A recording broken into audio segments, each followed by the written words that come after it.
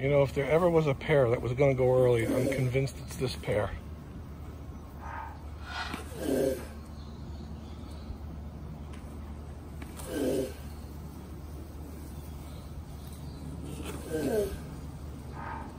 is going to be number two.